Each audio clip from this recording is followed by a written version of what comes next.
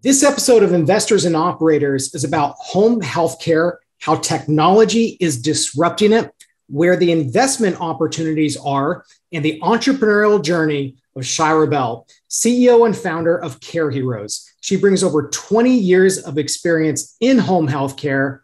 Chiara, it is awesome to have you here. And my first question is Can you give a quick explanation about what is Care Heroes? And then I have a second one lined up. Oh, it's great to be here, Jordan. Chiara Bell, CEO of Care Heroes. Care Heroes is an incentive platform for anybody who's delivering care in the home. So we work with home care agencies, Medicare skilled agencies, hospitals um, to incentivize and recognize quality care delivered at home. All right. Now let's rewind a little bit, and I would love to know how did you go from law school to home health care?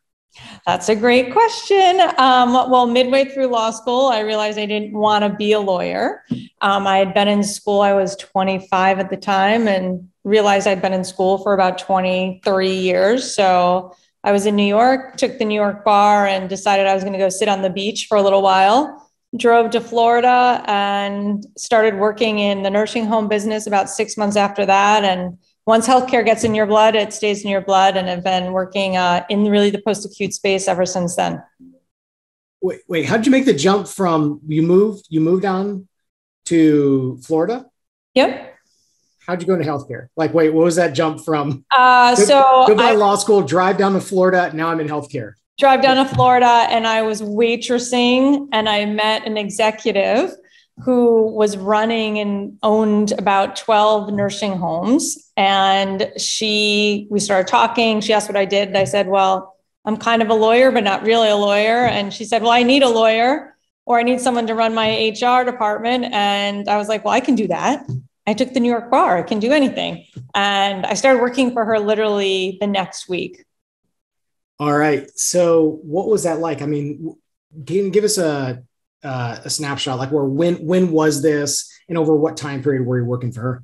Yeah so this was way back in 1998 so if you recall in 98 was when the nursing home industry changed their reimbursement from cost based cost plus to the prospective payment system so it really decimated that industry you think of vencor beverly they all kind of went bankrupt because their reimbursement got kind of really chopped by the federal government because most of their um, patients were either Medicaid or Medicare.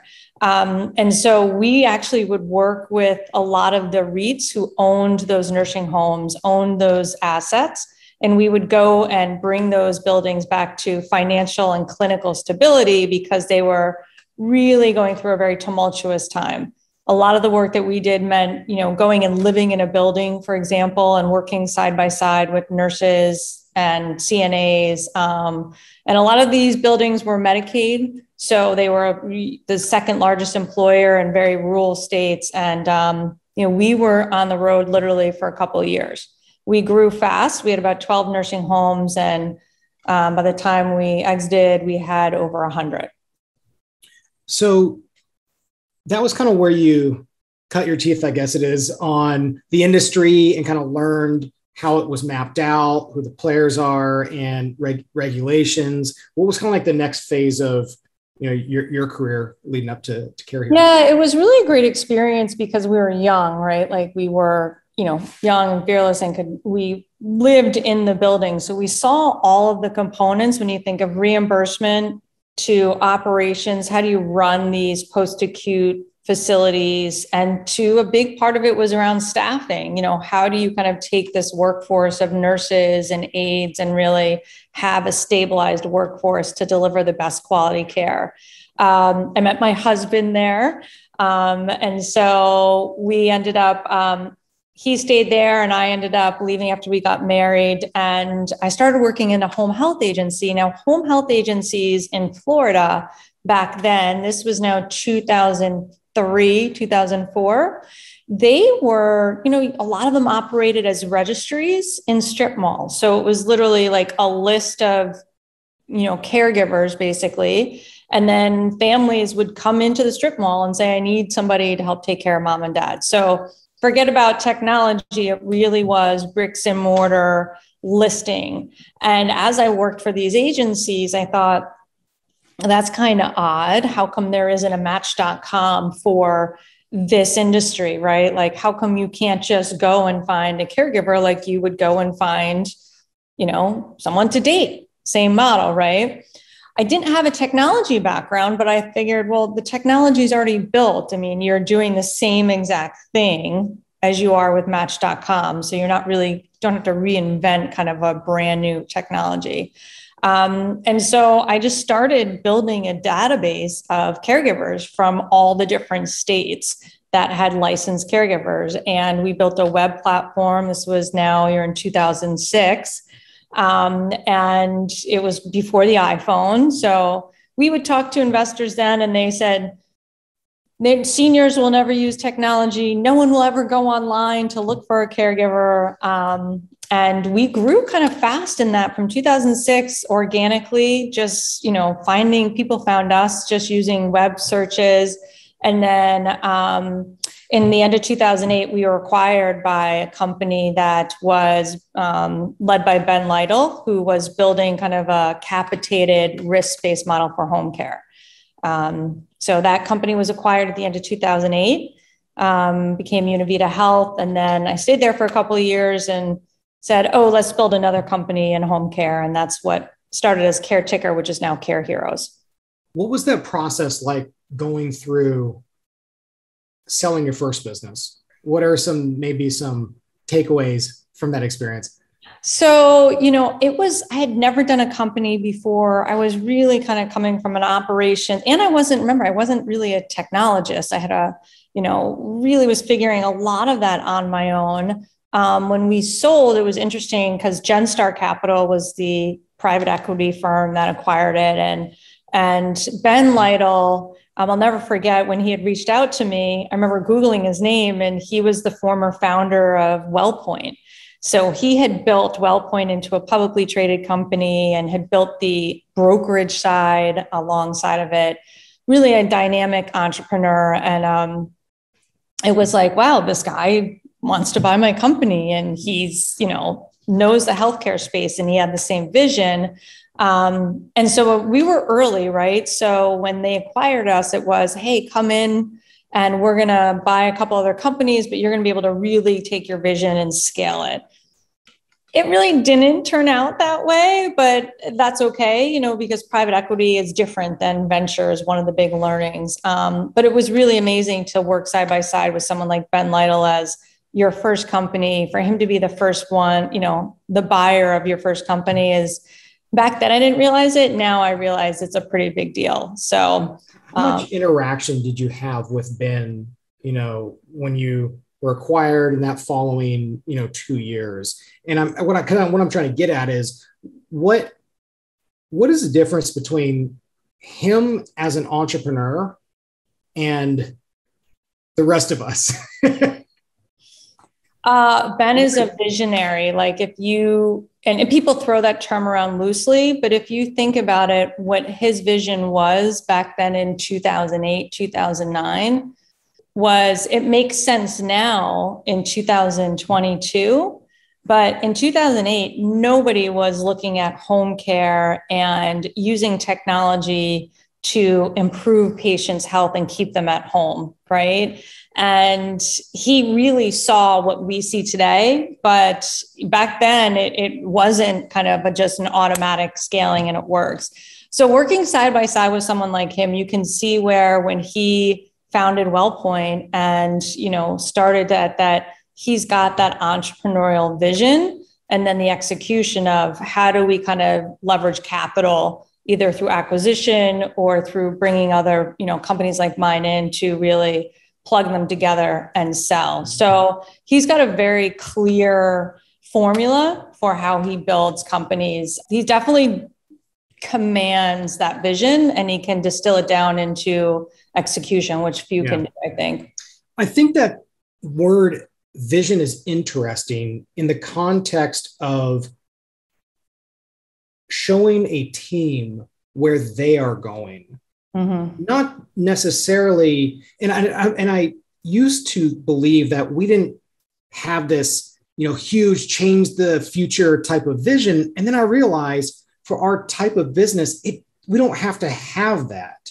We we have truly pioneered uh, authentic storytelling video within our particular inter- uh, industry within m&a private equity but it's not this moonshot type of vision. Let's go to mars you know you know work 24 hours a day until we get to mars. What, what i learned as a leader together with jing my co-founder business partner and wife is like the importance of we're not just reminding ourselves like where we're actually building this thing but also the team where their personal vision is how that fits up and syncs up with our team vision yeah and we I need think nothing to be excited about.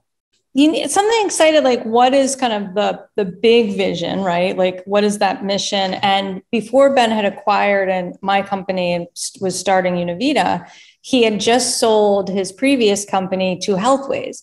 And what he did there, and this is where I think he really encapsulates the word vision, is that he takes kind of mid market companies or sometimes either companies that are in earlier stages and he puts them together, right? So he had acquired four companies. One was on smoking cessation. There was um, an online wellness. And again, this was 2003. And he bought three or four put them together and sold it to Healthways for probably, you know, 400% return, right? And I, so, I think it's an interesting skill set because they're different ways to look at the world and, and, and more, more different, um, yeah, paradigms or just the way that we look at how, uh, what we do every day. What I mean is, us as operators, we're so focused on the tactics and sometimes strategy, especially when we're getting something off the ground. But you know, when I did six years of M&A or our clients in private equity, they're always thinking, how can that come together with that to make this bigger and better? And it's difficult to have that time in the calendar mm-hmm. to stop, pause, reflect strategically. How mm-hmm. have you found the time to do that? you have to toggle between both, right? Like, especially the stage that we're in, which I used to hate when people said early stage because I feel like we've been in an early stage for longer. It's like emerging, it's like emerging manager in private. I'm like, well, when have you emerged? like I'm always in early stage, right? Um, but I think that you you know that, right? So you're day to day doing the tactical parts and that build of a company at this stage, you know, and you're wearing multiple hats. So that's one piece, but you also have to be able to sit back almost on a weekly basis to say, this is my long term, this is where I want to be. Like always say, I'm I'm three and a half years ahead of where we are. I already know where that needs to be. Investors that you talk to, you have to take them and, and easily show them where what that looks like.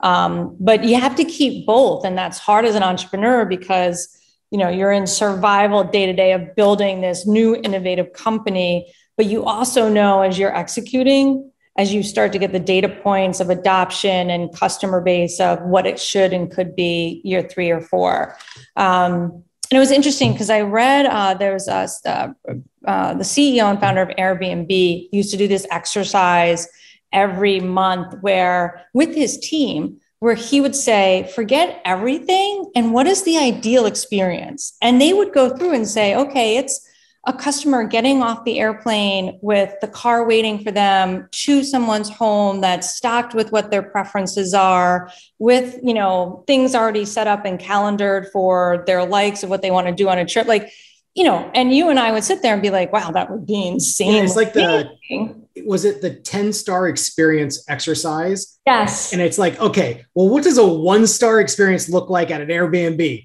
It's dirty. There are rats. There's an open door. There minor might not be, you know, danger outside. And then, okay, what's a five star experience? Okay, now let's go crazy. What does a 10 star experience look yeah. like?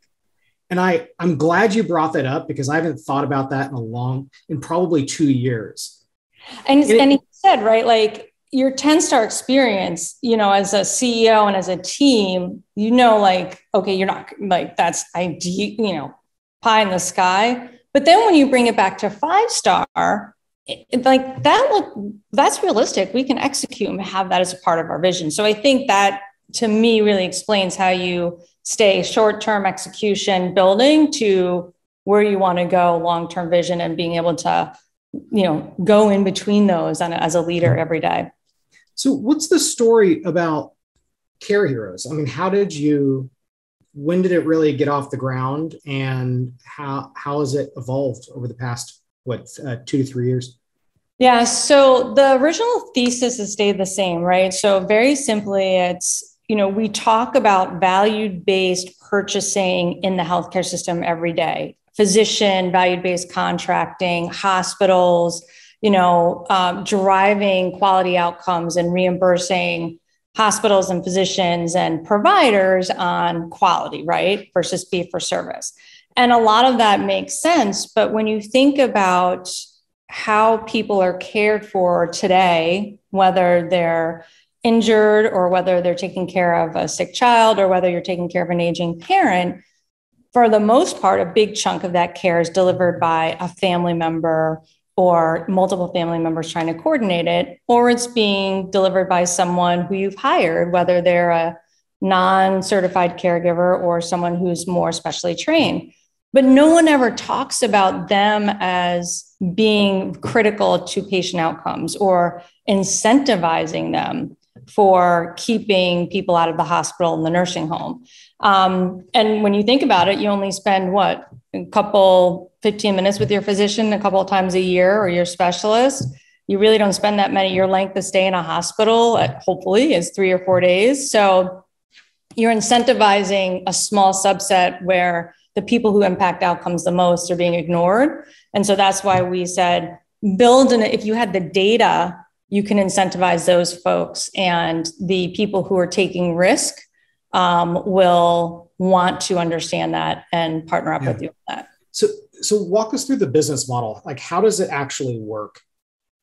Yeah. So we work with right now today. We work with home care agencies, whether you're private pay, Medicaid, or skilled. And basically, we collect data from them, usually simple data from like their EHR or their payroll systems or their EVV systems. And they say these are the things that we want to incentivize our people going into the home for. You can have clinical metrics, you can have operational. And then we created what we call kind of a digital currency around caregiver incentives, which we call care coins. And as the workers in the home, whether again they're a nurse or a therapist or an aide, achieve the benchmark set by the agency, they earn care coins and can redeem them for gift cards, dinner cards, gift cards to Target, whatever they choose. So it's almost gamification of care in the home. Yeah.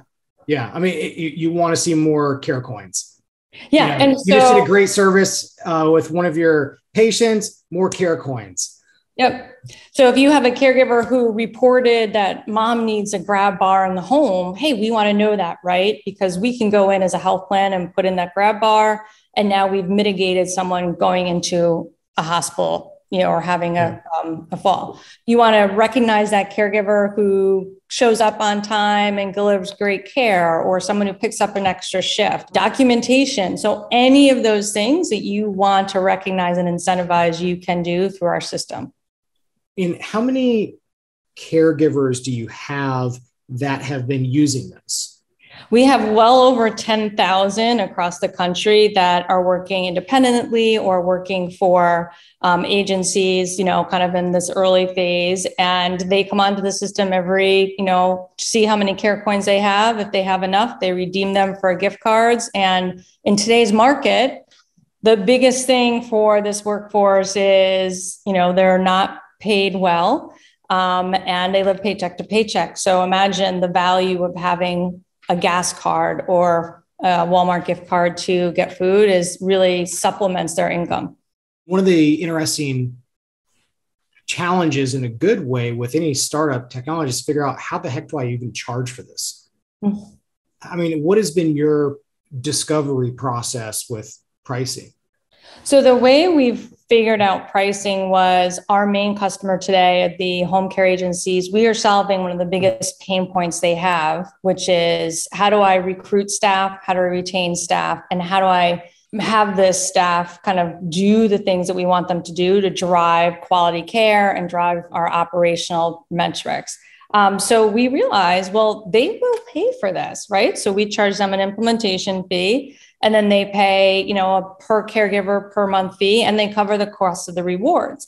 But the cost of the program, the ROI is so high because we reduce their missed shifts. Um, they can cause, you know, a couple thousand dollars a day for them to fill shifts of caregivers because they lose revenue on that. It costs them an average $500 to hire a caregiver, we impact retention and we can supplement their workforce as well. The pricing model has been fairly straightforward to figure out on them as a customer. The health plans, we believe as we scale with them, will not only pay to provide the system to their provider network, but think about them subsidizing the rewards for the caregivers. Because again, if you're at risk as a health plan, you want your member home, give the caregiver some incentives, or risk having them be put in the nursing home that costs you over $100,000 a year. So, kind of stepping outside of your business, but still within the home healthcare context, where do you see are some of the interesting investment opportunities or areas for disruption? Uh, so, I mean, there's been a lot of you know buzzwords around hospital at home. Um, I think we've always had that model. I think COVID accelerated it, brought it more to the forefront of understanding that care can be delivered in the home, both acutely and non-acute. Um, and I think right now it's still the process when you leave a hospital and you go home of you know coordinating those providers and getting the things that you need is still faxed, right? There's, I mean, think about that for a minute. I was talking to a provider the other day who says we still fax in order for DME equipment, or we still fax something of can we get approval for this caregiver to deliver care? So I think any any logistical part of coordination, the services of care in the home is still ripe for a lot of disruption, and you're going to see a lot more investment flowing into it, whether it's on the DME side or on the home health is still very fragmented. So I think you're going to see a lot of consolidation. I think the private equity firms are going to be buying up a lot more of the companion type agencies, the franchises. We've seen some interesting deals already happening. You got United buying LHC. I think that was a big signal to the market coming from a large, the largest plan of saying, we want to own this non clinical, you know, caregiver support in the home. Um, so I think you're going to see a lot more of that, and it's and it's a continuing to be a big opportunity. The issue is is where we where we find that we're going to be well poised in that market is there's not enough people to service yeah. you know them. So we ultimately can supplement that as well. So let's think uh, creatively on M&A, what would be a crazy deal that would happen from a very unlikely buyer? Like oh my god why were they doing that? Oh now i see this. I'm talking about things that are not obvious and it's okay if you don't have an answer for this but i'm just trying to think a little oh, that's such a good question. You should have given me that question like two days ahead like for my thought about it. Um, uh, let's see a crazy, non obvious deal. Hmm, I need to think about that. Ask me some other questions and I'll think about it. We'll come back to it. Yeah. Um, well, let's kind of go to one, one of my favorite uh, topics is around the rough patches we've been through in our careers and our entrepreneurial journeys. But those in retrospect made us better people, made us better businesses, made us better teams. Uh, so, in this newly titled segment called This Made Us Better, um, what is an example from your entrepreneurial journey of something that has made you better, but at the time it's a little bit painful? Um, okay. So, I had a deal to sell my company by somebody who is, you know, well, well known, like, you know, hugely known, would have been, and the only reason why I wanted to do the deal was because of this person being the leader, right? And had an LOI signed, haven't taken any outside capital. Agreement was we're gonna, you know, take our model, buy a couple other companies, et cetera. Two weeks before we we're supposed to close, deal doesn't go through, right? Now remember, I had one very, very large health plan customer that was kind of one of our core customers. Um, and that person had very close connections to that customer. And so we lost the deal. Okay. So now I'm like an entrepreneur's crying in the corner in a fetal position because I just was going to have another exit, could pause and kind of figure out what I wanted to do. And then six months later, lost my largest customer revenue wise, right? Crying in the corner again. And, you know, people have always say that line, the highs will be very high, the lows will be very low. I, I really experienced a new level of low. I don't know if ever, you know, because you're sitting there and you're like, how do I, what do I do next? You know, like what do I do next? I, I now am looking at my bank account and looking at my revenue. Can I cover payroll? Can I execute what we promised our customers? And is this going to work? you know you're really on that line of i think we're we're on life support and we're not going to make it and you know when you're a ceo that's passionate about your vision and you've been in it for a couple years that's a hard place to be so um, i will say that that you know is extraordinarily hard the reason why i think it's the best thing that happened to me because it really forced me to sit back and see is this model working? And is this scaling in the path that is this a real company that I'm building? And what I realized was I was building a company for one very, very big, sexy customer. And that wasn't the right path. Right. And so we started calling the people that we were doing work with through the health plan started working with them directly. And now we've got, like you say, 10,000 doesn't seem like a huge number. Well, we had like two people using the system. And within three months, we went to 10,000. And that's enormous, right? As an early stage founder. Um, but it was the, that was one of the hardest things I've ever been through. You know? Yeah. It's, it's fascinating to hear that because when we first go through it, it seems like the end of the world. And then every time we go through some version of that in subsequent years, the we, we, we have some scar tissue. We're like, oh, wait a second. I've been through that. Yeah. I, I can get through it. And it's just interesting in how I guess that's something called experience. and I think the thing that's important if there's entrepreneurs watching this is what I had was I had a few people that were mentors, colleagues that I called and literally called in hysterics, right? Like, I'm going to shut it down. This isn't going to work. I am nothing. Like, what you say to yourself in that time as an entrepreneur, you can be very hard. And one of them um, said to me, You have freedom. Like, go if you are being handcuffed with you know this one customer or these people are going to buy you now you have the freedom to go do what you wanted to do. Another one said keep on going you know just listen at the signals and to have those people talk you through it without judgment. A board won't do that right? If you've got investors on your board you can't call them hysterical saying you know I just want to give up and, and I can't function. And, you know, this is the worst thing that's happened to me. You have to be like, we're good. Revenues are moving forward. Growth is like this. It's up all and good. to the right. No, no big deal. Meanwhile, you hang up the phone and you're just, you know, a mess. I think the reality of entrepreneurism and doing these in doing companies is you're going to have that experience and you have to have those couple people to lean on and during those times. Um, but I don't know if the the you know my ultimate goal is to to prove those guys like to sit back and they're going to call me up and be like, man, we made a mistake of not closing that deal, right? So we'll see. Yeah, and I think I, I mean I've had a similar thing in psychology in terms of the proven people wrong psychology, and I think there's an element of some small part of having a chip on our shoulder that does motivate us.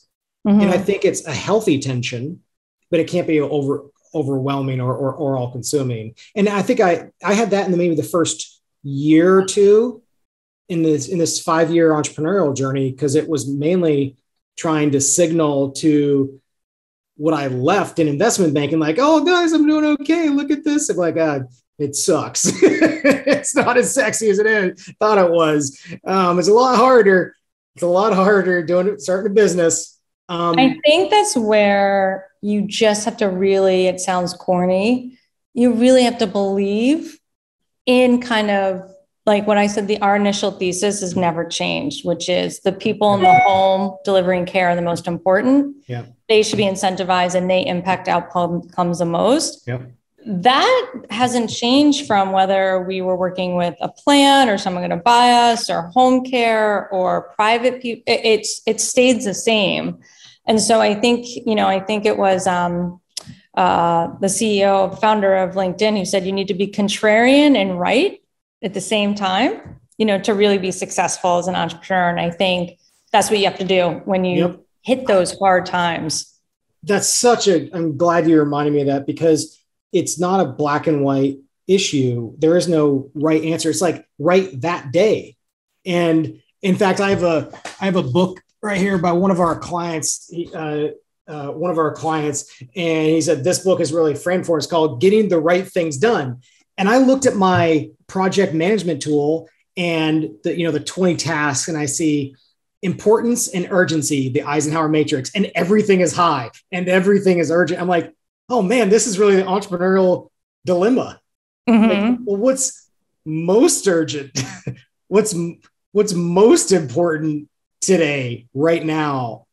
And being willing to accept that there will be things that will fall through the cracks. It is part of small business, early business. How, yeah, how and you, you, know, you know, Rob Hayes at First Round Capital, he's, he told he said the same thing. He goes, Chiara, sometimes you're focusing so much on the urgent things as a leader but you're not focusing on the important thing you know? And and there's a couple important things is in early stage lead you know your your cash flow you know getting the product right? Can you scale it? Those sort of things. So um how would you kind of uh, summarize your why for entrepreneurship?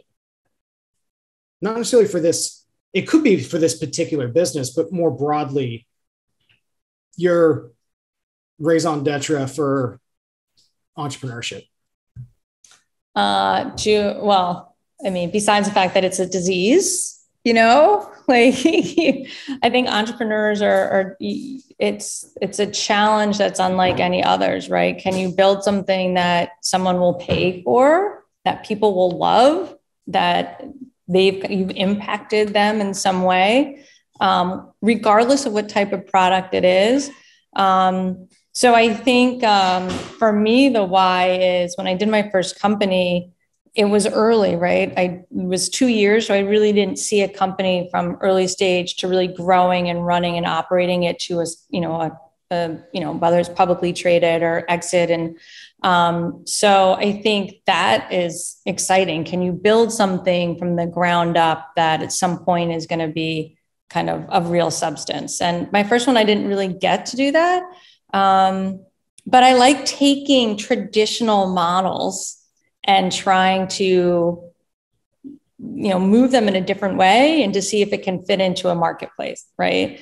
Like yeah. when i did my first company it was why you've got this old stodgy industry of healthcare being operated out of strip malls and no one's using any technology.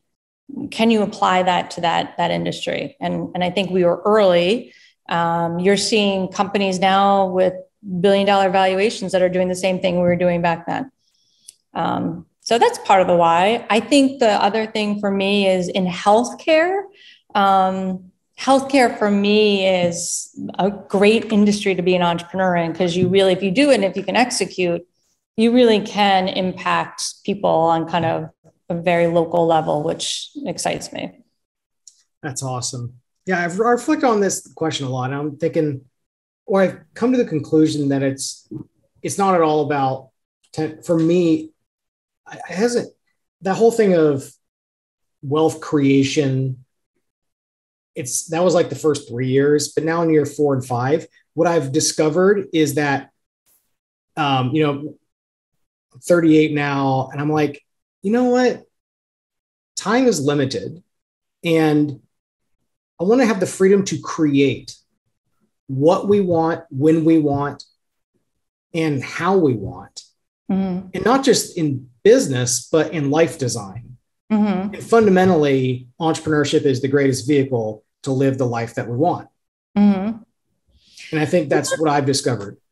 I, I, I think so. I mean, um, listen, I haven't taken a salary in like eight years, right? And so when we when we started after I sold my last company, you know, I have two daughters, and it was healthcare then was just being kind of digital health. It was 2009. You saw Rock Health had just started. Digital health was like big buzz. And I sat back and I was like, you know, I, I kind of, you know, I could go get a, a job and I call it kind of collect paycheck, be a direct depositor, right? No offense to anybody doing that. Or I can kind of go and do this and figure it out. And if it works out, great. If it doesn't, I don't, you know, I'll we'll still be okay. And can I show my daughters that there's a world out there now that you really can have an idea and try to execute on it and you know see if you can take it somewhere. Um, so yeah, wealth creation to me, it's not that doesn't really drive. I don't think most entrepreneurs. I think that's kind of like, oh, it'd be great if this works out like that, but you can't build, I think, a real company with that as your your goal. Yeah, it, it's I, I, always have this kind of FOMO whenever we go to our clients and I, I walk in and because we our clients are in investment banking, private equity, et cetera. And I'm like, what if I went down and I stayed down that track? And then I realized like I was an average banker. I could barely count two plus two. I love the deal making but fundamentally like it just wasn't a fit in the long run and and yeah. this ability to create in the direction that we want this has become like to have that blank canvas and mm-hmm. to say you know what let's go try this like that creative freedom is yep. our ultimate why so and i do think you did ask the question around um, like in those dark days right when you've had those I always would go and talk to one or two of like my users, right? Because our end users and caregivers, they they're like, this is the greatest thing, you know. So yep. start to build something where it's not just, oh, I like it, it's a nice to have, but they really are coming back and saying, I love it. You know, that is what kind of keeps you going. So um, I don't know how much time we have, but I literally have a, do- a document on my journal called Oxygen and that document I, I copy and paste. It's happened for you know years now. Just little things on like hey keep going. That's the message to myself. It's like all right here's just a small example. Stay, stay in the fight. Yep. Yep. So um, the most i think a deal that would be really interesting would be like um, if you think about a company like um, Salesforce, right? Going in and buying um, a staffing agency of caregivers, right? That would be interesting. I don't think people would see like why would Salesforce want to own that workforce, but it can be monetized all day long. That would be a very interesting deal. Um, well, because fundamentally, Salesforce has is that infrastructure for customer interactions being a CRM. Yeah. And if you think about what drives referrals from hospital to home, it's a very old, you know, you've got community liaisons like bringing donuts to the doctors to try to get referrals to their agency. That still happens today. I'm like, I want to, know, like a Salesforce, just scoop up a whole bunch of those and just, you know, own it, you know, in a big way. There that we go. crazy deal. That would be a crazy deal. well, I guess we'll call that new another newly titled segment called crazy deal. Yeah, you have like Marc Benioff like having like nurse aides like on his, you know, inviting a hundred of them to like a big conference and like building them up and being like, you guys can be the you guys could be the sales, the the people that drives referrals and make more money. You know, most of them make 22 grand a year. So can you take a workforce like this and say we're to you're the most important workforce and lift them up. And now they're earning you know a, a, good salary and feeling good about themselves and keeping people at home. It's just such a win. So what yeah is the, what is the average caregiver uh, salary? The average so if you're a caregiver they're making probably anywhere between 13 to 18 dollars an hour. 18 is your very high high level maximum so what is, what is the average starbucks wage? Uh, 15 to 16 so we're valuing the people who take care of loved ones the same as a starbucks barista. Uh, usually we value them lower. Yep. Yep. So and and when I started Care Heroes, you know, the industry has always looked at the work that's being delivered at home as not important. So that, you know, think about it. They call, you know, caregivers who aren't nurses, well, you're not certified or you're unskilled. And you're like, you've got one of the most important workforces that keeps people at home, that's doing work that typically has been looked down upon. But now it took a pandemic where people realized, oh, it is really important when, you know, Kadisha takes Mr. Bell to church for an hour, right? Or to get his haircut. Those are the things that one make people feel good, make them feel human and alive, but it also keeps them at home. It keeps them out of the institutional setting.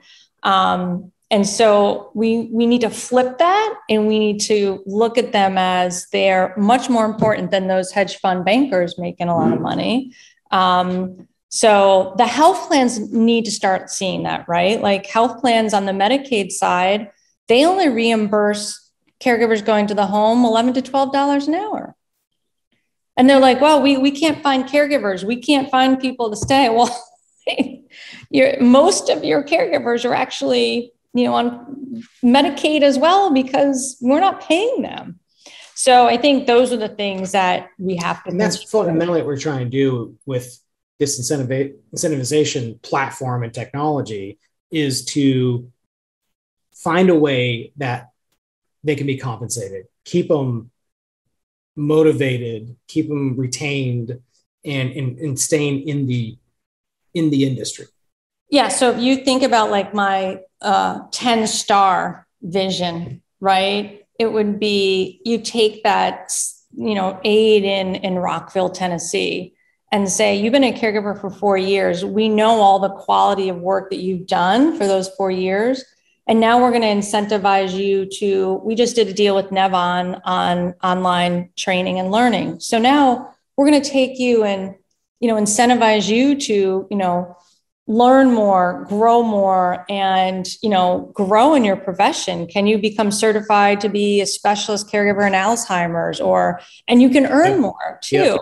So those are the things that we need to start doing to to really embrace that workforce to to have they're gonna they're not in it for the money now so imagine if you take them and say hey we're going to build you up and continue yeah.